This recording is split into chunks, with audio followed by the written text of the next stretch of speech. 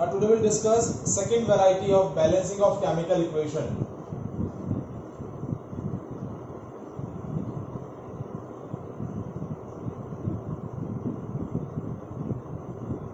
Chapter name is Chemical Reaction and Equation chapter 1. So second type जो है उसमें आपको क्या देखा है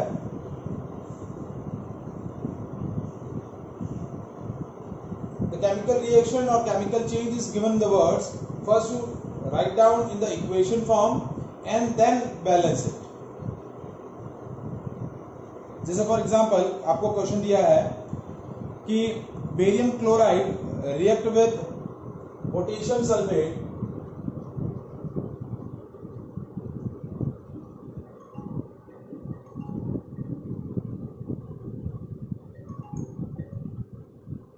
Chloride react with potassium sulfate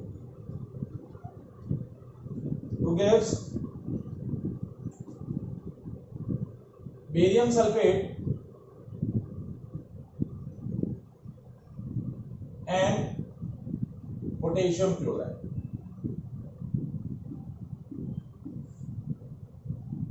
That is the chemical change given in the language form words में आपको दे रखा है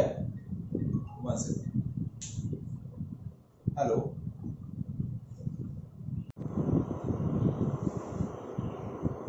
ना first you change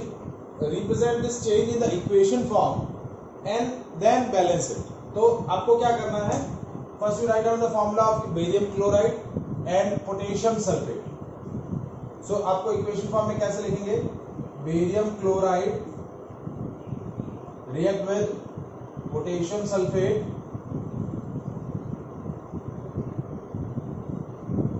gives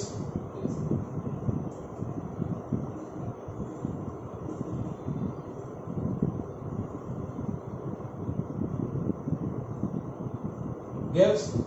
radium sulfate and potassium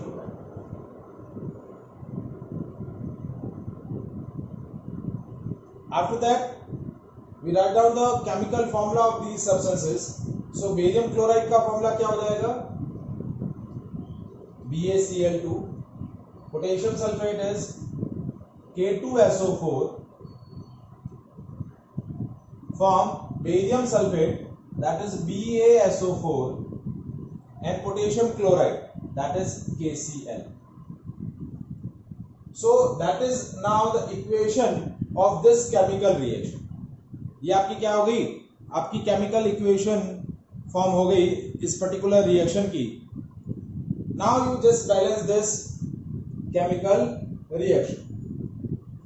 अब इस आपको इस केमिकल इक्वेशन को क्या करना है बैलेंस करना है तो बैलेंस करने के लिए वही approach hit and trial method hit and trial method में हम हमारे पास जो भी डिफरेंट एलिमेंट्स हैं उनको काउंट करना है दोनों साइड में तो symbol of element number of atoms इस तरफ एल एच एस इस तरफ आर एच एस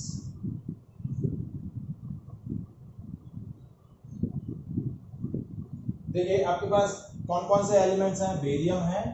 क्लोरीन है पोटेशियम है और चौथा मैं जो लिख रहा हूं एसओ फोर ये as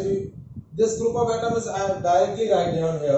क्योंकि देखिए यहाँ SO4 है और यहाँ पर भी SO4 ही है तो सल्फर ऑक्सीजन सेपरेट करने की रिक्वायरमेंट नहीं है सल्फर ऑक्सीजन को कंबाइनली हमने इसी के अंदर प्लेस कर दिया तो आप देखिए बेरियम इस तरफ वन इस तरफ भी वन लेफ्ट हैंड साइड और राइट हैंड साइड दोनों साइड वन है क्लोरीन इस तरफ टू है इस तरफ वन है पोटेशियम इस तरफ टू है इस तरफ वन है और सल्फेट इस तरफ वन और इस तरफ भी वन तो आप देखिए बेरियम और सल्फेट ये दोनों आपके बैलेंस्ड है पोटेशियम बैलेंस्ड नहीं है और क्लोरीन भी बैलेंस्ड नहीं है तो पोटेशियम और क्लोरीन को बैलेंस करना है और उन दोनों को राइट हैंड साइड में बैलेंस करना है क्योंकि इस तरफ ये दो दो है इस तरफ एक ही है दोनों वन वन है तो बैलेंस कैसे करेंगे इसको आप किससे मल्टीप्लाई कर देंगे टू से जैसे ये टू से मल्टीप्लाई हो जाएगा इस तरफ भी पोटेशियम और क्लोरीन दो दो हैं और इस तरफ भी पोटेशियम क्लोरीन दो दो हो जाए तो आपकी बैलेंस केमिकल इक्वेशन क्या बनी इस पर्टिकुलर चेंज की देखिए फाइनल आपकी इक्वेशन क्या बन जाएगी देखिए B A C L two plus A two S O four gives B S O four plus twice of K C L this is your balanced chemical equation Is it clear?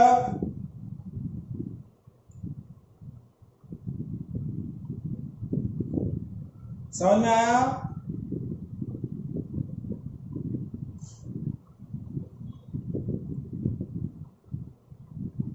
अरे रेनी समझ में आया आप लोगों को बेटा ठीक है ना सेकेंड इसी में हम कुछ और वेराइटी डिस्कस करते हैं तो मेनली जो क्वेश्चन एग्जाम में बनेगा वो इसी टाइप का आपका फॉर्म होगा जिसके अंदर आपको पहले रिएक्शन को इक्वेशन फॉर्म में कन्वर्ट करना है एंड देन बैलेंस करना है नेक्स्ट है नेक्स्ट केमिकल चेंज आपको दिया हुआ है sodium plus water gives sodium hydroxide plus hydrogen sodium plus water gives sodium hydroxide plus hydrogen. So first we represent this chemical chain in the equation form. So symbol for the sodium is Na. Chemical formula for water is H2O. Chemical formula of sodium hydroxide is NaOH. And the chemical formula for hydrogen is H2. H नहीं लेंगे H two लेंगे क्योंकि ये hydrogen कोई भी element free state में exist नहीं करता है तो यहां ये जो हाइड्रोजन लिखा है दिस इज हाइड्रोजन गैस तो ये H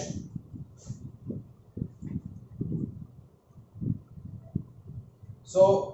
this is our chemical equation now we balance it तो वही टेबल आप फॉर्म करेंगे simple of elements number of atoms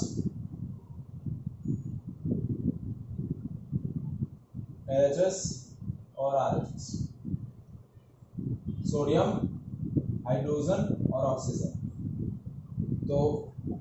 sodium atom दोनों साइड वन और वन है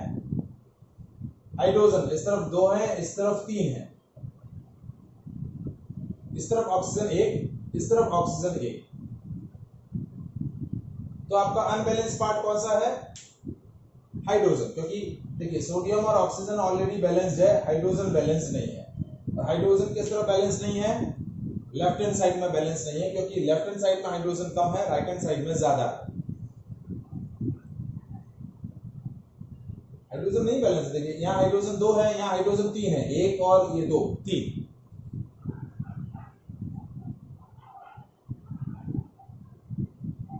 अब हम क्या करेंगे हाइड्रोजन को बैलेंस करेंगे हाइड्रोजन को बैलेंस कैसे किया जाएगा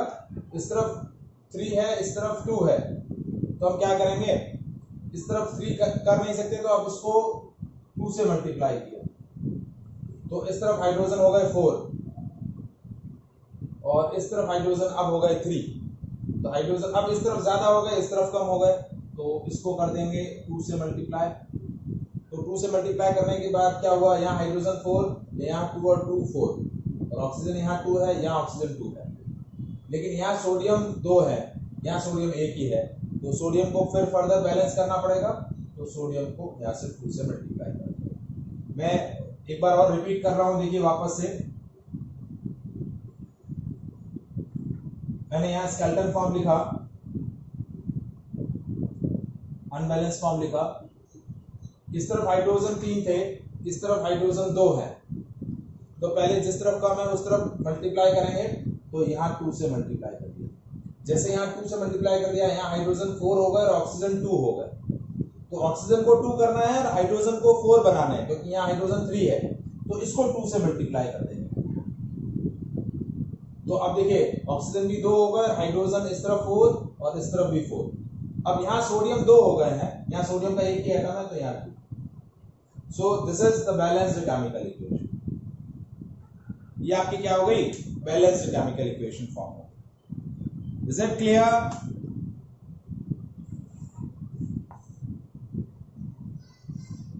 समझ में आया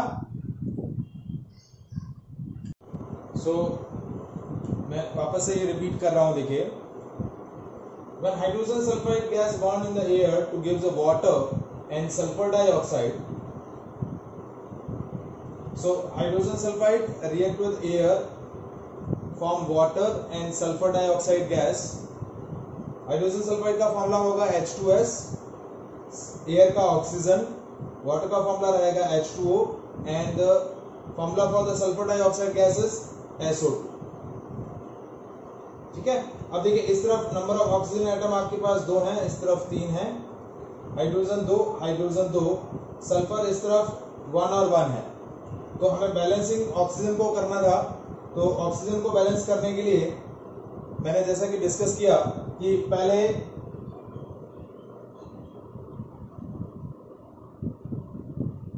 इस तरफ ऑक्सीजन आपके पास तीन है इस तरफ दो है तो इसको हाँ आप लोगों को वापस ज्वाइन होना है तो इसको टू से मल्टीप्लाई किया ये हो गया फोर और यहां हो गया थ्री तो अगेन इस तरफ ऑक्सीजन इम्बैलेंस हो गए तो इसको टू से मल्टीप्लाई किया इस तरफ फोर हो गए इस तरफ फोर हो गए लेकिन ऑक्सीजन को बैलेंस के चक्कर में आपका हाइड्रोजन इम्बैलेंस हो गया तो हाइड्रोजन यहाँ फोर हो गया यहाँ टू है तो इसको टू से मल्टीप्लाई किया हाइड्रोजन फर्दर बैलेंस हो गया लेकिन हाइड्रोजन के बैलेंसिंग में सल्फर इम्बैलेंस हो गया तो सल्फर इधर टू है इस तरफ वन है तो इसको टू से मल्टीप्लाई किया सल्फर टू हो गया इस तरफ लेकिन यहाँ आप oxygen two and two four and four and two six तो इसको हमने फर्दर क्या कर दिया थ्री से so this is the balancing equation now next question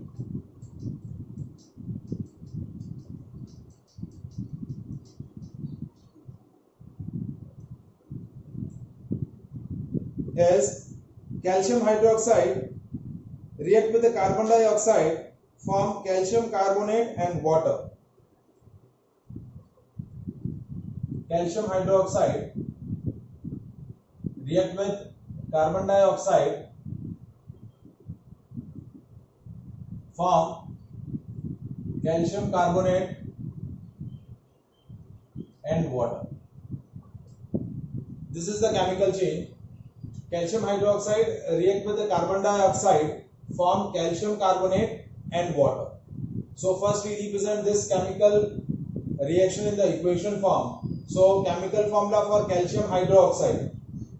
CaOH bold twice. React with carbon dioxide the formula CO2 then calcium carbonate CaCO3 plus H2 water का h H2 now First we check out the number of atoms on the both the side of equation. So symbol of elements or number of atoms. LHS side or RHS side. so calcium hydrogen oxygen and carbon ये चार different items हैं आपके पास तो calcium दोनों side one one है hydrogen इस तरफ two इस तरफ भी टू इस तरफ oxygen two and two four और राइट हैंड साइड में भी फोर कार्बन देखिए इस तरफ वन और इस तरफ भी वन सो चारों आइटम्स आपके क्या है बैलेंस्ड है तो this is your balanced chemical equation ये आपकी क्या हो गई बैलेंस केमिकल सिर्फ इस केमिकल चेंज को आपने इक्वेशन फॉर्म में कन्वर्ट किया और इस तरीके से number of atoms both the side equation आपने चेक किए दोनों side number of atom same थे so this is the final balanced chemical सिर्फ आपको इस इक्वेशन चेंज को इक्वेशन फॉर्म में रिप्रेजेंट करना पड़ा is it clear